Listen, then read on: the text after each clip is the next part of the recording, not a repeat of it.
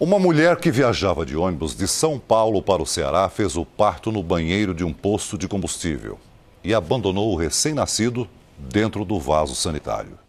O caso ocorreu neste posto da BR-050, em Araguari, no Triângulo Mineiro. Lana Carli Matias Rodrigues, de 21 anos, grávida de nove meses, viajava neste veículo de São Paulo para Tauá, no Ceará, com um filho de quatro anos. Logo que o ônibus parou, a mulher foi ao banheiro. Na volta, esses passageiros notaram algo diferente. Minha mulher foi no banheiro feminino e falou que tinha abortado um feto lá.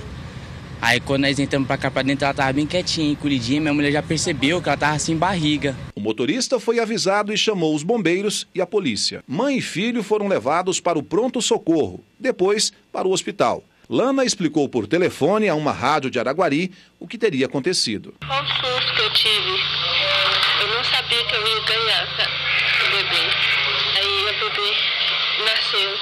Aí eu voltei pro ônibus. Quando eu voltei, aí não deu tempo de pedir ajuda, eu desmaiei.